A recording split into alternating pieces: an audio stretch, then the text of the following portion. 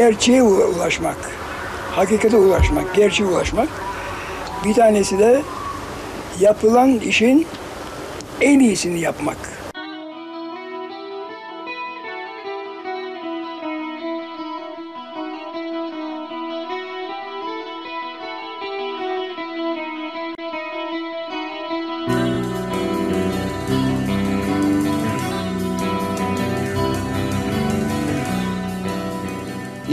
Kuruluş adı Orta Doğu Teknoloji Enstitüsü. Tabii bunun sebebi de üniversite için yeni bir kanun lazım.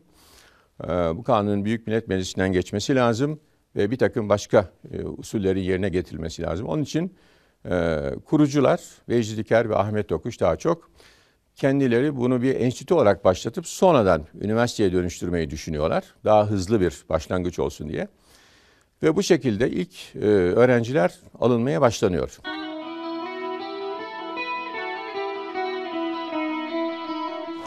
Amerika'dan Türkiye'ye geldiğim zaman gördüm ki memlekette büyük reformlar yapmak ancak Atatürk yolunda gitmekle yani daima gelişmeyi arzu eden, burada çalışan liderler olacağını anladık. Yani Türkiye'de her sahada bu kadar geniş çalışma yapacak liderlerin yetişmesi lazım. Bunun için mutlaka bu standartta eğitim müesseselerin olması lazım. Vecdi Diker e, büyük bir hayal gücüne sahip insan. E, Hayalci insan çoktur. Fakat o hayali gerçekleştirme becerisini gösteren insanlar.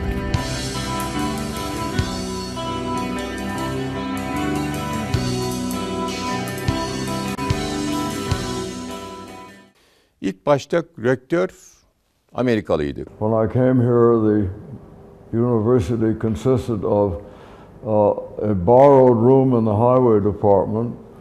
Uh, Haki Özbek, an administrator, who was to work with, with me, and uh, with Sema Kut, who was a secretary. The first thing to do if we were to start a university was, of course, to set up a plan for uh, how we would a- arrange to get students to come and uh, how we would arrange to establish the principal elements which are necessary so that we had a base to work from in, in the sense that we should get not only students, but we had to find faculty to serve them. We had to find uh, someone to set up an English language program to make sure that the students who were coming would have the uh, English ability to do that work. We had a man who did not have a formal position with us in the university, uh, Fuad Chopanolu, who was the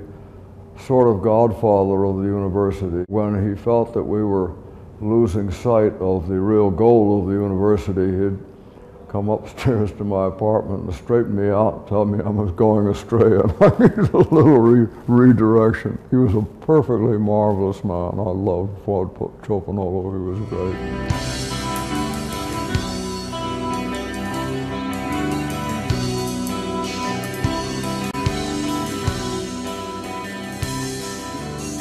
Çağdaş bir üniversite kurmak, kül sistemi değil bölüm sistemini tercih etmek, genç e, akademisyenlere e, görev vermek e, ve yabancı dilde eğitim e, yapmak şeklinde farklı bir yapı içinde bunu kurmak istiyorlardı. Somebody has to spend a great deal of time trying to raise money uh, from any source we could. And because the government wanted a university, an international university, and to attract people from other parts of the Middle East and other parts of Europe, and what we started was a really international uh, institution which depended on the English language. Biz önce mimarlık bölümü kuralım. Çünkü bu bölüm e, üniversitenin diğer birimlerinin planını, projesini yapsın.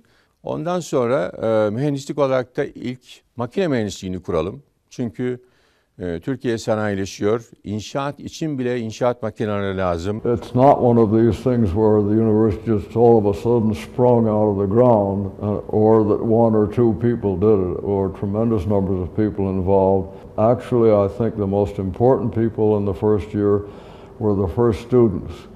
It was a big gamble for them. They went to a an institution, they didn't know whether it was going to work, they didn't know whether they could get anything out of it, they didn't know whether they were going to learn anything, they didn't know what was going to happen to them. And they came, and that was a very courageous thing for them to do.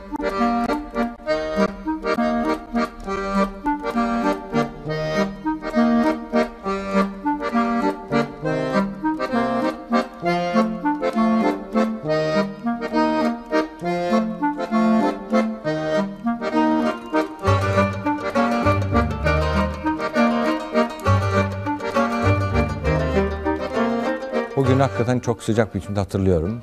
İşte meclis duvarının ortasında bir giriş kapısı yapılmıştı. Demirden parmaklıklar vardı. O parmaklıklar yarım açıktı.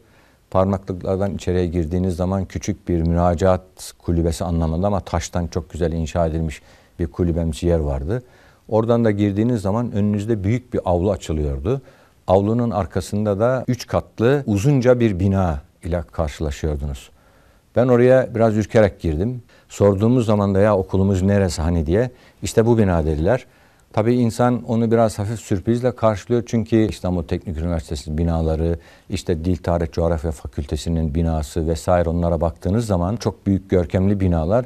Ya biz hangi okula geldik acaba bu nasıl bir üniversite bu küçük bina mı filan diyerekten de içimizde böyle yarı şakalı yarı sürprizli konuşmalar da oldu. Sadece gazetede bir ilan gördüm. Türkiye'nin göbeğinde kurulmakta olan yeni bir üniversite. Orta Doğu Teknik Üniversitesi. İlgimi çekti. Yeni olması da ilgimi çekti. Sadece tabii giriş bir sınavla oluyordu. O sınava girdim. Çok kimse vardı sınava giren. Ee, ve hasbelkader e, kazandım. Ee, memnun oldum ve geldim. Ee, bu olaylar 1957 yılının sonuna doğru oluyordu. Ve sonuçta 5 Ocak 1958 günü Ankara'ya ayak bastım. Kar yağıyordu.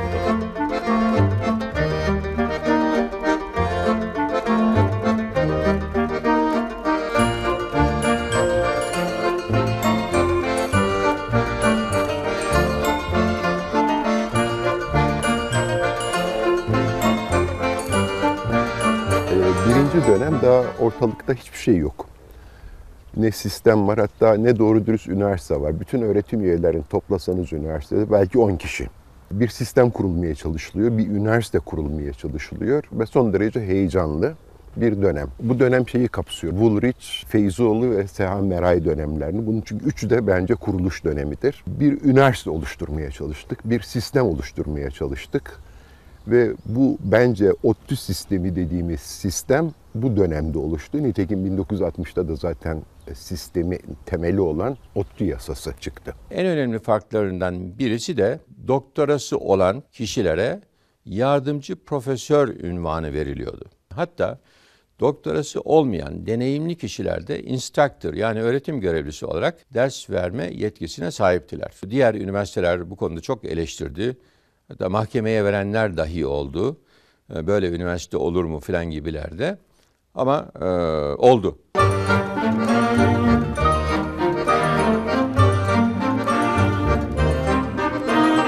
Bir şeyi ilk denediğiniz zaman e, önü çok açık. Dolayısıyla herkes kendinin daha e, zorlayabiliyor, daha e, sınırlarını daha geniş tutabiliyor, daha yaratıcı olabiliyor.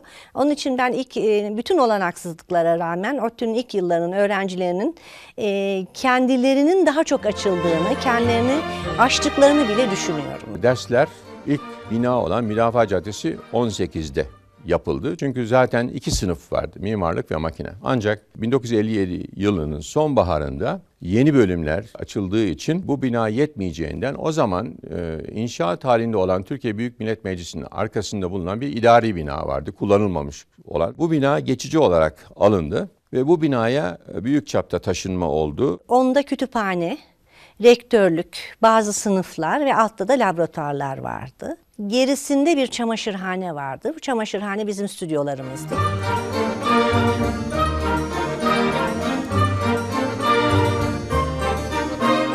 And I was very fortunate to be able to get from UNESCO a young lady who had been a librarian at the uh, Georgia uh, state of Georgia technology in the United States, where I had been working before, and I knew she was an excellent librarian.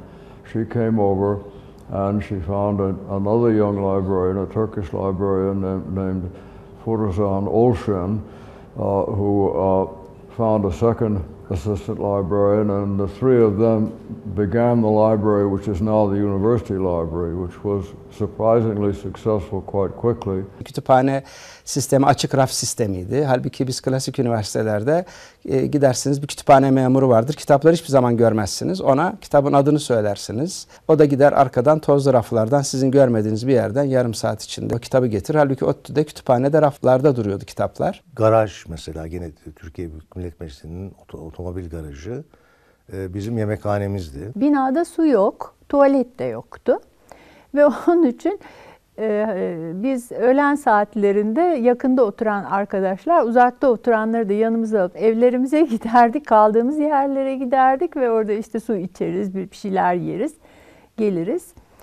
E, ısınma da yoktu. Bu koşullarda başladık eğitime. Doğru dürüst bir kantinimiz yoktu. Tek sıra halinde öğlenleri mesela uzun bir kuyruk olurdu. Hademe kadrosundan bir arkadaş bize sandviçler yapıp satardı. Sonradan bir kantinimiz oldu. Kantinin işletmesi tamamen biz öğrencilere verildi. Şöyle bir e, şekilde çalışıyorduk. Servis yapanlar bedava yemek yiyebiliyor.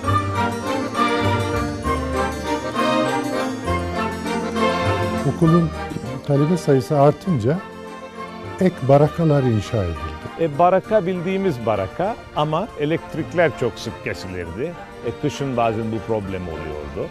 Bir de meclisin çamaşırhanesi vardı. İşte kütüphane ve diğer odalar oradaydı. Kütüphaneyi çok sık kullanıyorduk. Çok uzun süreler kullanıyorduk. Çünkü merkezi ısıtmalıydı. Barakalar öyle değildi. Barakalar adeta ısıtmasızdı. Biz orada sığıntı bir üniversiteydik. Bize Gecekondu Üniversitesi deniyordu. Çok küçük bir toplum, e, az miktarda hoca. Fakat e, çok hevesli bir toplum. E, Gerçekten kariyerini seçmiş, bilinçli ve de çok çalışan bir toplumduk. Yani Baraka'nın e, içinde e, çok büyük hedefler var.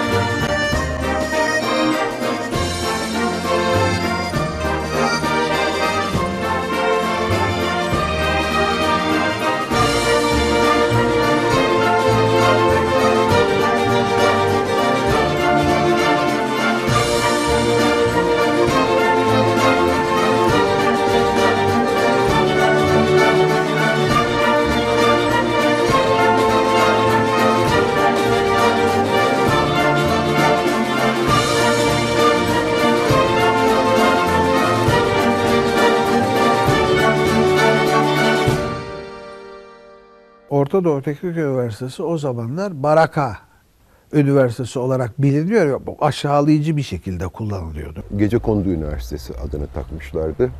Hatta bir dost meclisinde hani nerede çalışıyorsun? ODTÜ'de öğretim görevlisiyim dediğiniz zaman herkesin yüzünde bir tebessüm beliriyordu. Bir alay konusuydu. Ama bu gerçekten ODTÜ'lüleri hiçbir zaman ırgalamadı. Çünkü ODTÜ'lüler bu işin tutacağına canı gönülden inanıyorlardı. Hemen şunu söyleyeyim, bunda gençliğin etkisi de mutlaka var. Ben bu yaşta olsam böyle bir işe başlansa ne düşünürdüm? Soru işareti. Orta Doğu'nun kendine özel bir yasası vardı. Ee, Hem akademik örgütlenmesi bakımından, terfi sistemleri bakımından ve e, eğitim programlarının oluşturulması bakımından. O model şu anda yaygın olarak Türkiye'de kabul görmüştür ama o dönemde e, mevcut Türkiye'deki mevcut üniversiteler bu sisteme karşı e, aleyhte propaganda yapmışlardı. Hiç uygulanmamış bir sistem getirdi ODTÜ. Bu büyük reaksiyonlara neden oldu. Ama zaman geçtikçe bunun çok başarılı olduğu görüldü. Şöyle bir yani düşünün. 1960'da yasa çıkıyor. 1968'de Türkiye'nin iyi üniversitelerinden değil, dünya üniversiteleri arasında tanınmış bir üniversite haline geliyor. Bu mümkün değil.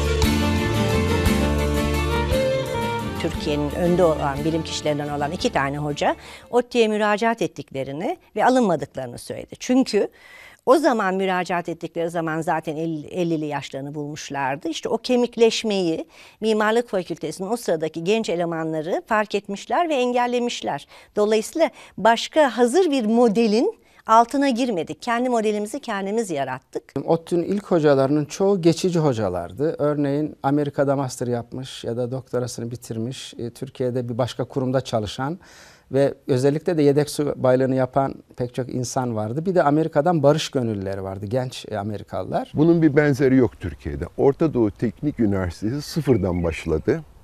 Fen ve Edebiyat Fakültesi hariç bundan. Bunun dışında diğer üç fakülte diğer üniversitelerden transfer yapmadan yani onlara da zarar vermeden yetişmiş eleman almadan kendileri eleman topladılar ve daha sonra da kendi elemanlarını yetiştirdiler. Bu bir devrimdir bence.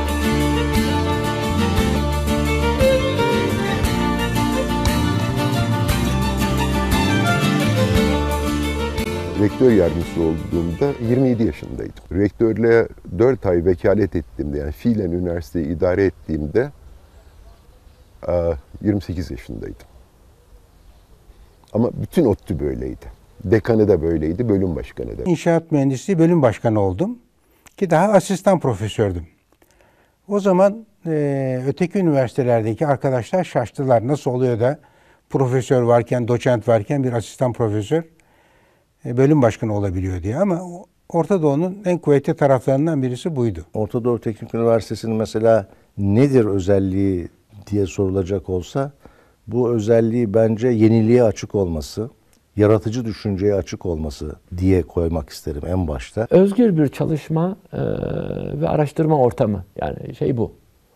E, herkesin bir arada bulunabileceği, katkıda bulunabileceği e, bir ortamı yaratmak ve üretken bir e, ortamı yaratmak. E, felsefe buydu. İnsanlar bu ortamın oluşması için gerçekten özveriyle çalışmışlardır. Kendimle ilgili olarak söylemiyorum. Bütün o dönemdeki meslektaşlarımızın hep söyleydim. Ben yıllarca hiç cumartesi pazar günü e, eve gitmeden her zaman buradaydık yani. Akşam geç saatlere kadar buradaydık. Burayı gelmeyi özlerdik yani. E, kuruma gelmeyi özlüyorduk. Oradaki hayatımız e, şöyleydi. İş, idi. Ve e, sürekli olarak yeni bir şeyler yaratmak, eksiklikleri gidermeye çalışmak, yeni oluşumlar ortaya çıkıyor. Bunlarla ilişkili e, hocalarımız arasında, idareciler arasında ciddi münakaşalar e, oluyor. Çünkü o zaman bir şeyi ispatlamak istiyorduk. Yani yeni kurulan bir üniversite. Bize o zaman Baraka Üniversitesi diyorlar. Ee, ispatlamamız gerekiyordu. Kendimizi ispatlamamız gerekiyordu. Dolayısıyla gerçekten çok büyük çabalar sarf ettik. Tüm ODTÜ camiası olarak. Mesela o zamanlarda şöyle bir laf olurdu Ankara'da. Gece 12'den sonra bir yerde ışık görüyorsanız bir evde orada bir ODTÜ'lü çalışıyordur derler.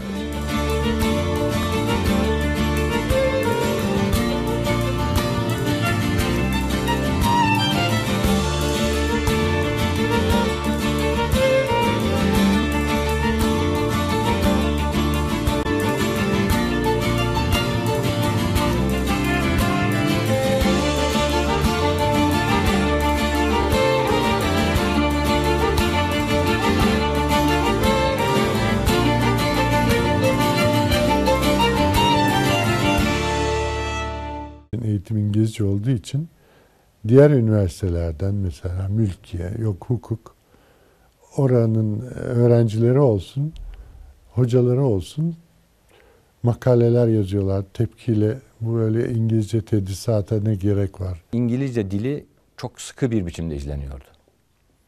Hocalarımızın odalarının üstündeki tabelalar, işte kütüphanenin üstündeki tabela, kayıt kabul, çeşitli bürolar vesaire her şey İngilizceydi. The university has a choice. It can become a Turkish university and speak Turkish.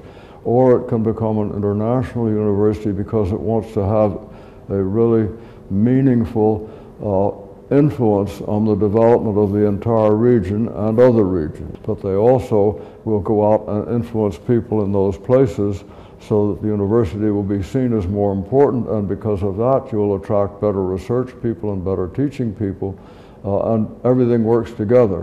So you have a basic decision, I think. Are we local or are we global? Türklerin değil de e, Amerikalıların e, kontrolünde bir üniversite olarak e, algılanmıştır. Mesela zaman zaman kendi meslektaşlarımızın bize e, işte maaşlarımızı dolar olarak mı aldığımız biçiminde e, sorulara muhatap olmuşuzdur. Kapıya yöneldiğiniz zaman hafta sonunda bir şey görüyorsunuz. Türk ve Amerikan bayrağı. Kapıya çıktığınız zaman dekanlar odalarına Amerikan Cumhurbaşkanı'nın resimleri.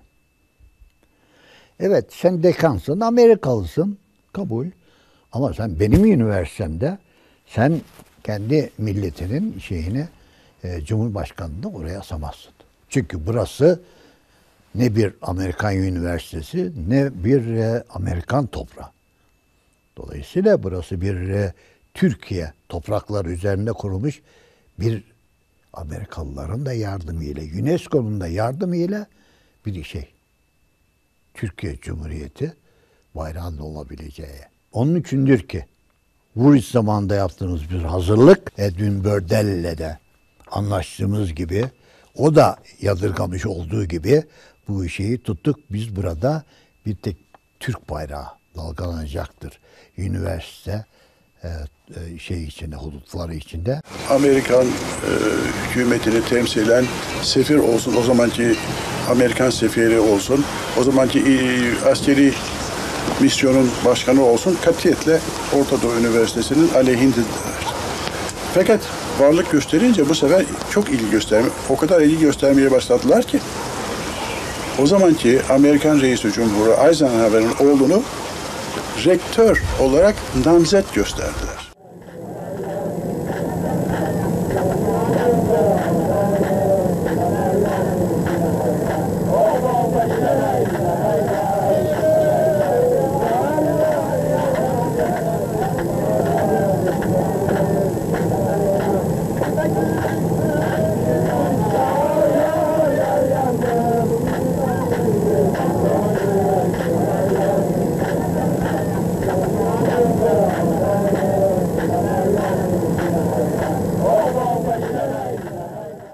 Yurtsever bir geleneği vardır e, bu kurumun. 1960'larda işte petrol olsun, köylerin geliştirilmesi olsun, köy yolları olsun buralarda çok çaba sarf etmiştir. Öğrencileri de, e, öğretim üyeleri de. Yaz stajlarında e, Mimarlık Fakültesi'nde e, ki e, rahmetli e, ilk dekanlarımızdan bir tanesi olan Abdullah Kur'an, Profesör Abdullah Kur'an'la e, Kemal Kurdaş rektörümüz birlikte karar verdikleri bir e, uygulama e, yapıldı. Her yaz döneminde özellikle mimarlık ve şehir planlama öğrencileri beraberce bir kırsal yöreye gidiyorlar. Planlama öğrencileri oranın, oranın kırsal planlamasını yapıyorlar. Mimarlık öğrencileri de o planlamanın e, yansıması olarak ekonomik anlamı olan bir binayı projelendiriyorlar. Bunu fiilen inşa ediyorlar.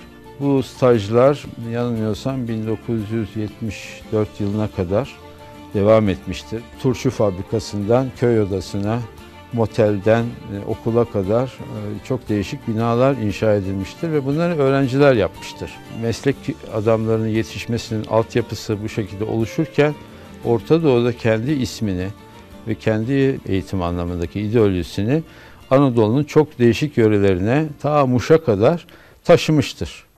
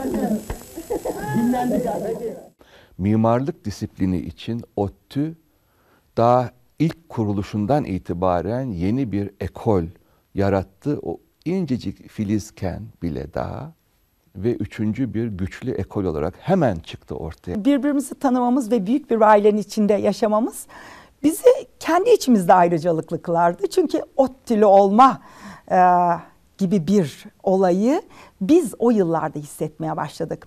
Ve sanırım e, o yıllarda içimize ekilen bu tohum şimdi büyüdü, yeşerdi. Dediğim gibi kocaman bir çınara dönüştü. Yoğun bir aidiyet hissi veren bir kurumdu. Hatta okuldan atılanlar bile e, akademik başarı yönetmelikleri o zaman çok daha sertti.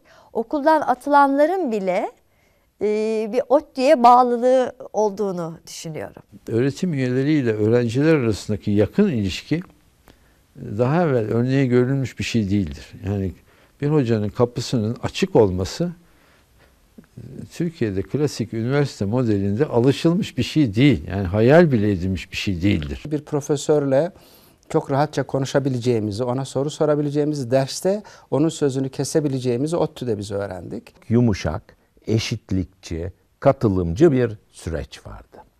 Şimdi bu katılımcı ve yumuşak süreç bir anlamda öteki üniversitelerin eleştirilmesinde bir model oluşturuyordu. Hiyerarşinin olmayışı, yani unvanların, e, statülerin kişiler arası ilişkilerde çok önemli olmayışı, hatta hiç önemli oluşu, olumlu yönleri e, ODTÜ kültürünün. Orada ise, o kurun etrafında ise asistan mı, asistan profesör mü, yani bugün yardımcı doçent denen asistan profesör mü, profesör mü, doçent mi, rektör mü, rektör yardımcısı. Bunun hiç önemi yoktu. Düşünemeyeceğiniz kadar sert münakaşalar yapılırdı. Fakat e, bunlar orada biterdi. Kapıdan çıkınca çok iyi arkadaştık. Çok iyi arkadaştık. Mustafa Parlar bölüme geldi ve şu sözleri söyledi. Onu da hiç unutmadığım sözlerden birisidir. Ee, üniversitemizin yasasına göre işte mütevelliyeti rektörü seçer, rektör dekanlarını atar, dekanlar da bölüm başkanlarını. Benim yetkim bölüm başkanlığı tayin etmek. Fakat ben demokrasiye inanmış bir insanım. Onun için bütün bölümü toplamıştı. Arkadaşlar siz kendi bölüm başkanınızı seçin. Kimi seçerseniz benim kabulümdür demişti. Zaten Orta Doğu sisteminin temelinde e, bu yatar. Öğrenci, öğretim üyesi ve yönetim üçgeni yatar. Bu çok güzel işlemiştir. Belki de ODTÜ ruhu bunun bir göstergesidir. Veya ODTÜ ruhunun temelinde bu yatar diye düşünüyorum. Top oynardık, futbol oynardık. Arada sırada da Kemal Kurdaş katılırdı. Şimdi Mimarlık Fakültesi ile Kimya bölümünün arasında bir kömür saha dediğimiz bir saha vardı. Biz öğlenleri orada oynardık. Sayın Kurdaş da katılırdı. Bir de yine rahmetli oldu. Atilla diye bir arkadaşımız vardı. Atilla yani tabii biz çekiniyoruz. Biz daha küçüktük. Atilla daha büyüktü. Böyle futbol falan oynarken Kemal Kurdaş'a bayağı bağırırdı.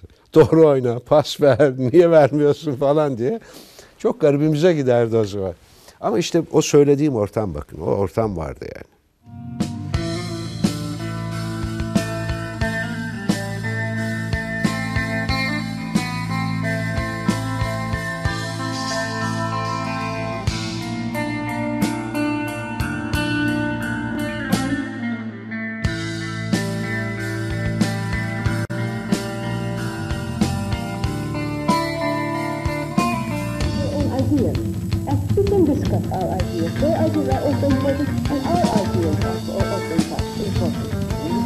Action, alles gut, alles ist gut.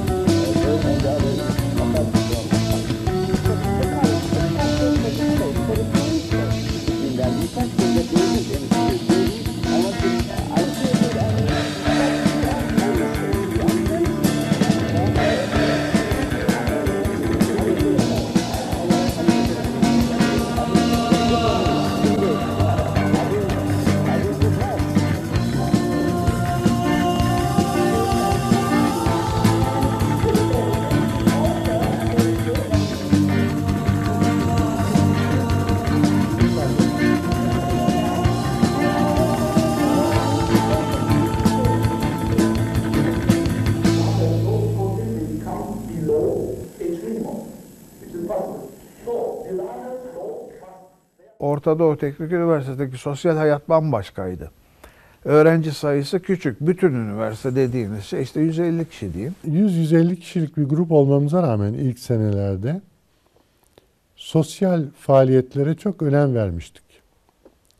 Kendi başımıza kurduğumuz hem spor grupları olduğu gibi mesela bir sosyal yardım grubumuz vardı. PC Club diye cumartesileri kantin salonlarında programlar yapardık. Bu piyesler ya da programlara giriş paralı olurdu. Toplanan parayla Keçiören Çocuk Yurdu'na malzeme alırdık. Şiir kulübü vardı. O zamanın meşhur şairleri gelip bize şiirler okurdu. Türkü grubu, Türk sanat grubu vardı.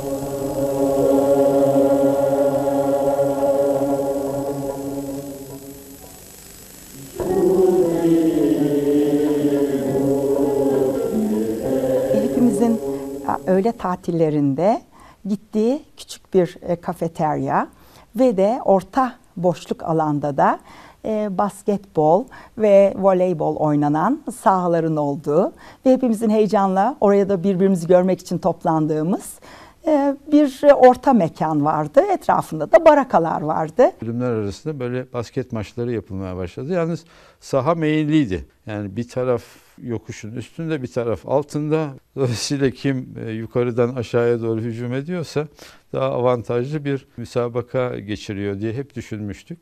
Aynı saha diploma töreninde diploma töreninin yapıldığı yer haline dönüşürdü. Yani bunu şunun için söylüyorum. Yani o zamanki olanakların ne kadar kısıtlı olduğunu ama o kısıtlı olanaklar içinde hiçbir şeyin savsaklanmadığını, yerine getirildiğini, yapıldığını, mümkün olan en iyi biçimde gerçekleşmesini sağlamak için çalışıldığını belirtmek için söylüyorum.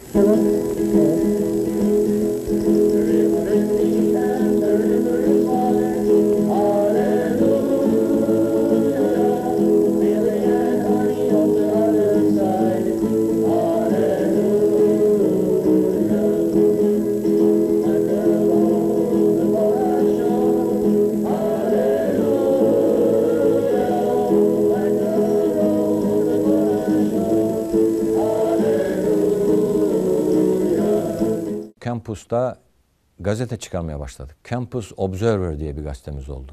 Campus Times diye bir gazetemiz oldu. Bir küçük odada bir radyo istasyonu kurduk. Bir mikrofon, kablo çekerekten her tarafa bir amplifikatör, bir de Almanya'dan getirilen kalın hacimli teypler vardı. Hafta sonlarında partiler vermeye başladık. Ahşaptan küçük bir platform kurarak onu sahne yaptık. Orada ilginç temsiller oynamaya başladık. Hatta öyle oldu ki bizim o kampüs meşhur olmaya başladı. Yani binaları çok güzel olan hukuk fakültesi, mülkiye, efendim fen fakültesi, diğer okullardan öğrenciler, arkadaşlarımız bizim Orta Doğu Üniversitesi'ne gelmeye başladılar. Ya görelim hafta sonlarında partilerimiz olmuyor vesaire gibi. Birisi liseden geliyor, normal bir devlet lisesinden. Hazırlık okuluna gidiyor ve daha ilk birinci yılında böyle bir İngilizce piyeste oynama olanağı veriyor bu okul. Onu turneye gönderme olanağı veriyor. E, o dönemde işte judo kulübünde şimdi uzak doğu sporları falan var. 40 yıl önce yoktu. Ona rağmen o dönemde Natık Canca, Nazım Canca diye hocalar vardı. Onlar işte siyah kuşağı olan. Onlar çalıştırırlardı bizim. Küçük bir mekan içinde küçük gruplardık. Bu kadar beraber olmanın sonunda e, iç evlilikler çok oldu o yılda. E, gerek sınıf içi evlilikler, gerek bölümler arası evlilikler. Mesela ben de öyle bir evlilik yaptım. Aşk dolu bir ortamdı diyebiliriz.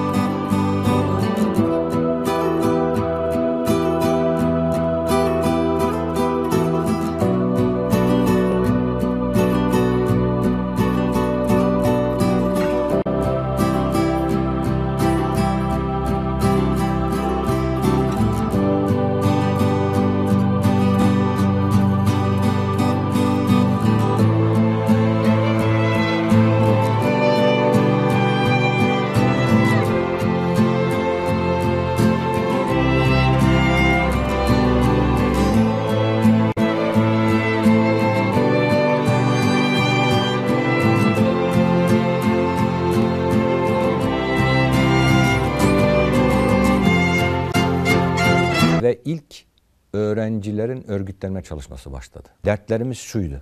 Bir, bizim diplomalarımız henüz tanınıyor muydu, tanınmıyor muydu belli değildi. İki, bir genel dedikodu vardı. Bu üniversite Türkiye'de kalmayacak. Bu bir Amerikan üniversitesidir ve Amerikan kuruluşudur. Amerikalılar bunu Mısır'a, Kahire'ye götürecekler. Niye? E, barakalar var, bina var, üniversitenin arsası yok vesaire alınmıyor. Ne olacak? Boykotun tohumları Turan Feyzoğlu döneminde biraz atıldı. Çünkü bir takım konuşmalar oldu öğrenci birliğiyle. Seha Meray rektör olduğunda bu patladı. İsteklerimizde haklı olduğumuzu ve dolayısıyla ısrarlı olacağımızı ve isteklerimiz yerine getirilinceye kadar da derslere girmeyeceğimizi ilan ettim. Bütün benim ifademin alınması, gidişler, gelişler bir haftayı sürdü bu iş. Onun sonuna döndüm arkadaşlarıma isteklerimizin işte şunun şu kadar, şunun şu kadar. Bazıları beğenilmedi, bazıları yuh falan filan dediler ama ben onlarda artık yeter. Bu kadar olur bu iş. Bu noktaya getirdik. Bakın diplomalarımız tanınacak, inşaat başlayacak, yönetmelik düzeltecek falan anlattık. Ve derslere davet ettim arkadaşları.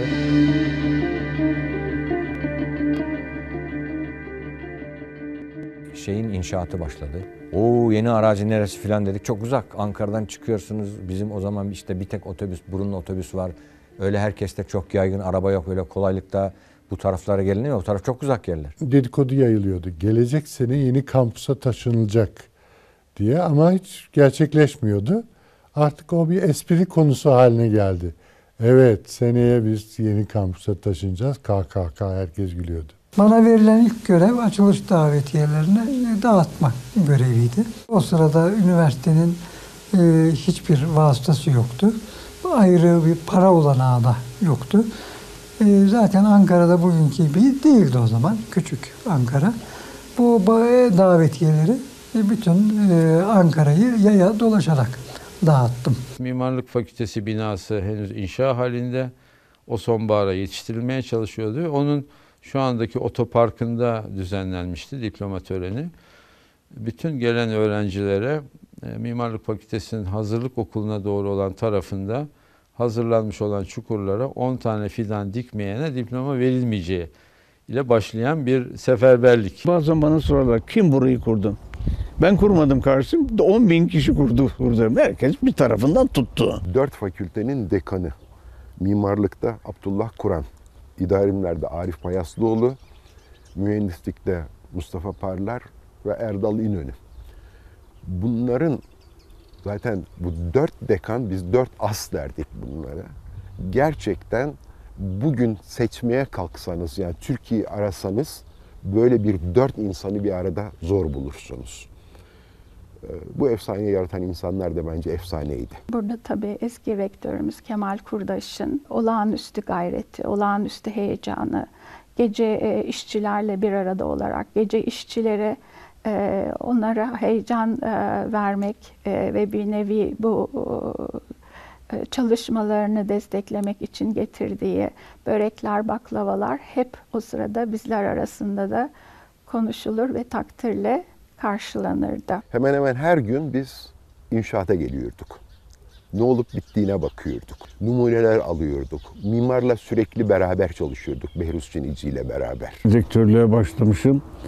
Bir idare müdürümüz var. Beni çok sert biliyor.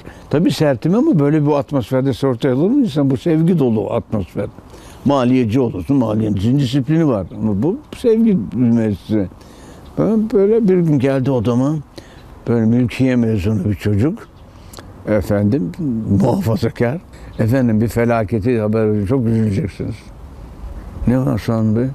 Efendim şimdi üniversitede şey meclisteki muhafız taburunun kumandanı geldi beni gördü. E bizim barakalardan or oradan kaldırılmasını istiyordu. Niye? Efendim bizim çocuklar o barakalarda öpüşüyorlarmış. Neferler de oraya bakıyormuş. Rahatsız oluyorlarmış.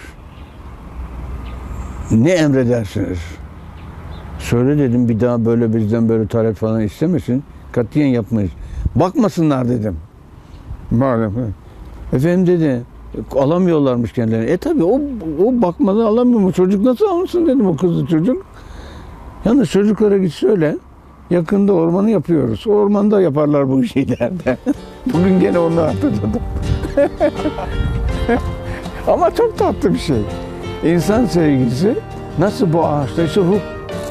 Çünkü bunların biliyor musun çoğu yuva kurdu, torun çocukları var. Çocukları sanki buranın çocukları böyle.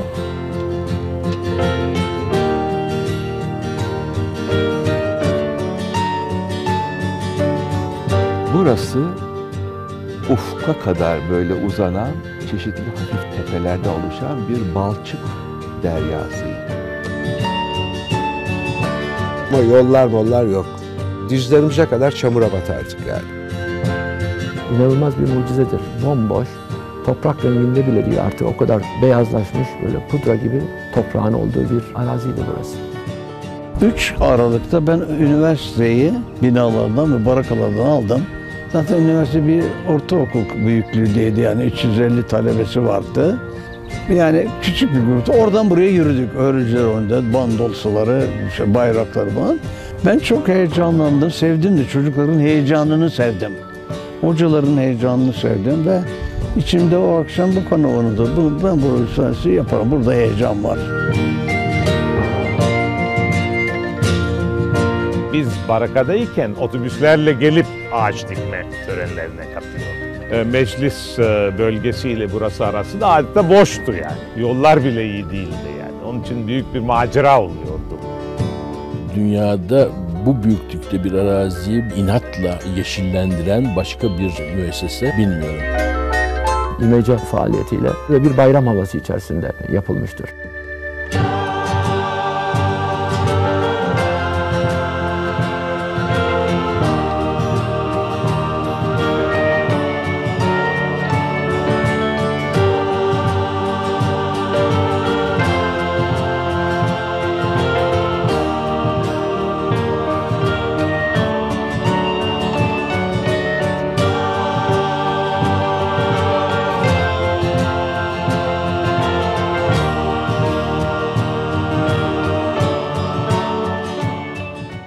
Biz fark ettik ki Bartın Deresi'nde ormanlardan gelen fidan şeylerden, tohumlardan böyle dere yatağında binlerce, yüz binlerce fidan var. Çınar. Bir, bir akşam oraya 20 kamyon gönderdik. Biz oradaki dere yatağındaki bütün çınarları çaldık. O çınarları buraya getirdik, buraya diktik. Ormancı bazı e, dostlarımız Kemal Kurdaş'ı tenkit ediyorlardı. Bu kadar fidanı mahvettin, oralara diktin, hiçbir şey olmaz burada diye. E, çok büyük bir yanılgı içinde oldukları ortaya çıktı. 157 bin veya 158 bin çınar getirdik. Bu yol, yol kenarındaki arazideki bütün çınarlar Bartınlıdır. Çamlar minicik minicik hatta böyle e, basılmasın diye dikkat ağaç var diye yazar atlarına koyardık. Kemal Bey'in e, yeri herhalde hiçbir şekilde doldurulmaz ama de, yani e, dikilmesine e, sebep olduğu ağaçlarla cennete gideceği muhakkaktır diye düşünüyorum. O işte bir cennet. Üniversitede dediğiniz mi çocuklarımızın yüzü böyle değişiyor. Onu ağaçların altında, çimenlerde çocuklar gibi debelendiğini hatırlıyorum. O kadar mutluydu. Hepimiz bu, bu hengameye el verdik. Yani ben iç, içimden hep destek gördüm üniversitemin içinden. Ağaç, ağaç efendim. Çocukları sopayla da kaldırdım yataktan ama dikler ağaçları.